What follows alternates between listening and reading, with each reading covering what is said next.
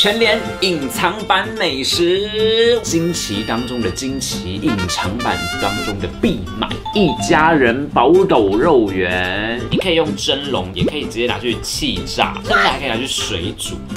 水煮，我们今天用的方法是啊。我是从这里，我是伟伟，欢迎来到黄兄弟开箱频道。今天我们要开箱的是全联隐藏版美食。为了这个系列呢，我们特别大约在三到四个月之前就已经潜入了全联社团。而这几项呢，真的都是确确实实全联大神们所讲到的品相。我们今天就来试试看，以上前面五款到底有没有是惊奇当中的惊奇，隐藏版当中的必买。第一项，Let's go。第一项是我们一家人宝斗肉圆。那这一款的话呢，它一包里面八颗是八十九元，大概平均是一颗十一块左右。它有附一个酱包跟蒸笼纸，也就是说呢，它有不同的料理方式，你可以用蒸笼，也可以直接拿去气炸，甚至还可以拿去水煮。水煮，水煮怎么会觉得好像会变成水晶饺的概念？好，总而言之呢，我们今天用的方法是啊。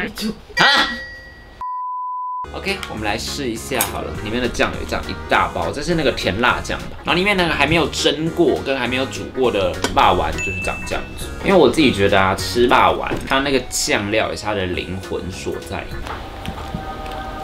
哦，好香，不是一般的甜辣酱，它是有蒜蓉的那一种的甜辣酱。给你们看，经过水煮过后啊，它的皮还是感觉非常的 Q 弹哦。里面有笋片，然后呢，猪肉，猪肉非常的香。我刚刚打开来，猪肉香直接爆炸。它整个料是炸出来的，还不错多，而且那个笋子也没有再客气的给很多。然后我们直接配着那个酱来一口。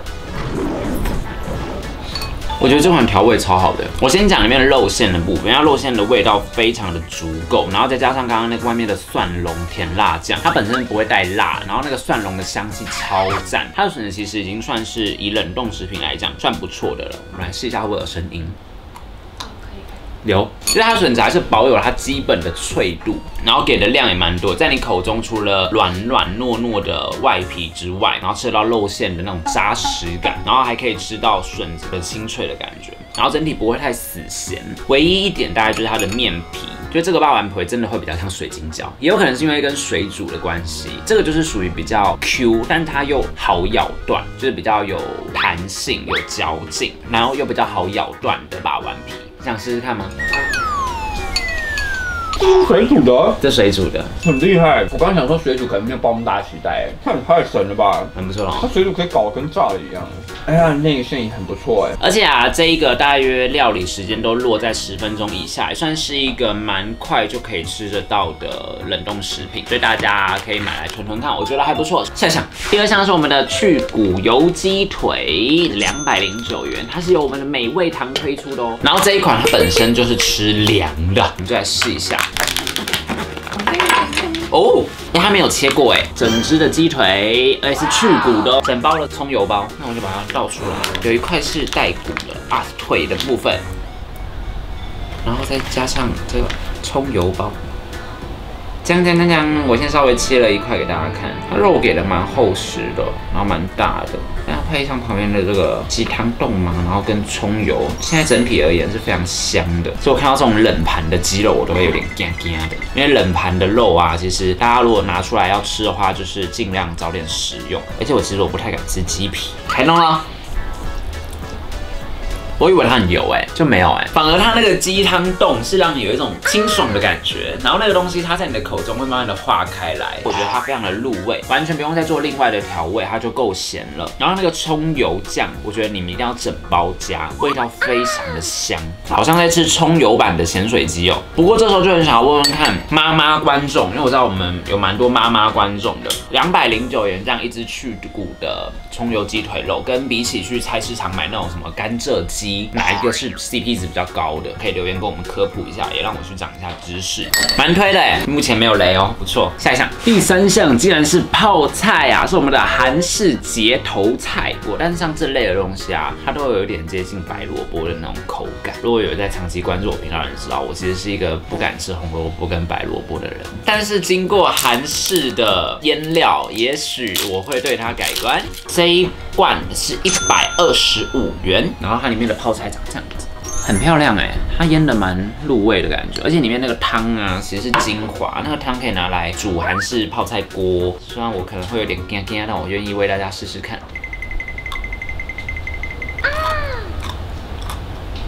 这款就是完全零辣度的韩式泡菜耶。其实我自己吃韩式的啊，我会喜欢挑辣一点的。这款就是很适合拿来当开胃小菜用的。然后呢，它的菜味并不会太明显，所以我可以接受。它就是一个口感偏清爽，而且不会到死咸，觉得这个也 OK。下一项呢，我之前就有看过了，它是全联的老鹰红豆牛奶烧，它非常的便宜，它只要二十五元哦。奇怪了，为什么要做香蕉的造型？那写 banana，你跟香蕉有任何的关联吗？Why？OK。哎，很香哎，这味道是那种就是牛奶酥、牛奶棒的味道，它奶香非常的浓郁。然后我们就湿给大家看，它非常的湿润哎，就我用手捏会觉得它是充满水分的那一种。我们来试一下啊。哦，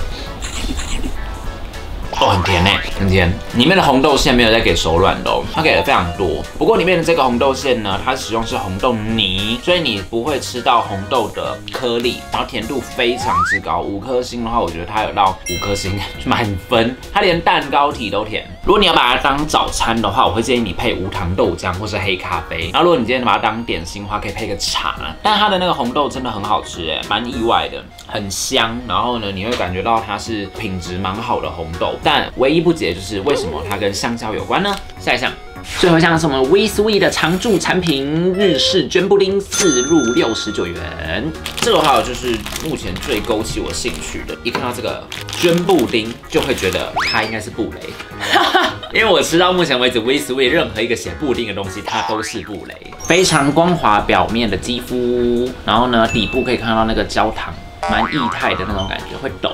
大家看它真的是非常的柔软啊。好像蒸蛋哦，我的妈！来，我们来试一下哦，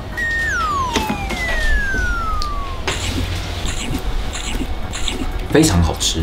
这个真的很好吃，但是呢，我还要说它就是比较丝滑的口感，所以就会有一种那种浓浓丝丝稠稠的感觉，所以我对我而言，它还是比较像布雷。我怎么分辨布丁跟布雷？我觉得我要在这集特别讲一下。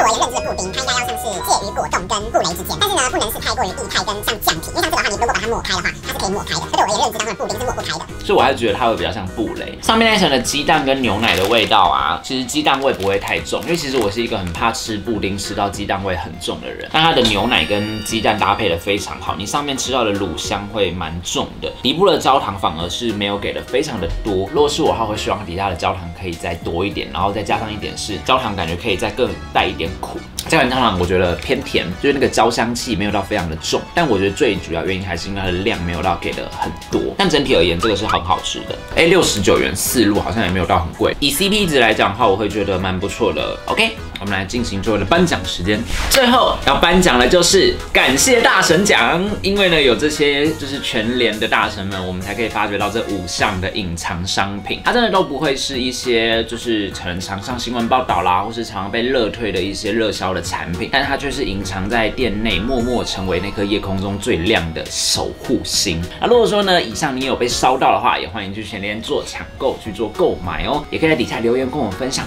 在你心目当中的全联隐藏美食是什么？那我们就会互相交流。但是要说呢，就是口味是非常主观的，大家在交流的同时，也不要去批评对方的喜好，让我们做一个良性的沟通，吃更多的美食吧。红手佬记得订阅、分享还有开启那个什么 Instagram，大家下次见喽，拜拜。